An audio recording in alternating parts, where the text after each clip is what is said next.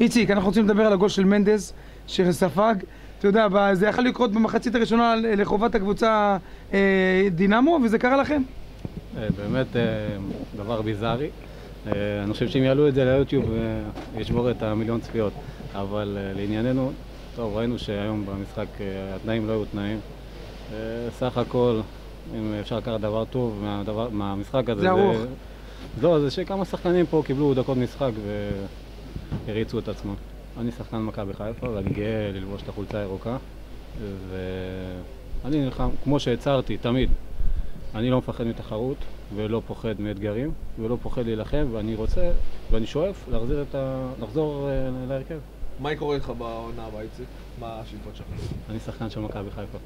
אין ספק שאנחנו נמצאים בתקופה טובה ואנחנו מתחילים אה, לדגדג אה, את המקום השני. אה, ברור שאנחנו רוצים אה, להשיג אה, כרטיס לאירופה לעונה הבאה, הן דרך הליגה וגם כמובן שהמועדון הזה הרבה שנים לא זכה בגביע, אז המטרה שלנו גם בגביע היא מוצהרת. באתם ביום ראשון מול הקבוצה שלך בעונה הקודמת, ממנה בעצם באת לפה, הפועל עכו. ברור שתמיד תהיה לי פינה חמה בלב, ואני גם תושב עכו אז תמיד יהיה סנטימנטים לקבוצה, אבל אה, אנחנו רוצים שלוש נקודות כי גם עכו מתחרה איתנו על מקום בפלייאוף העליון, ואנחנו באים לקחת שלוש נקודות.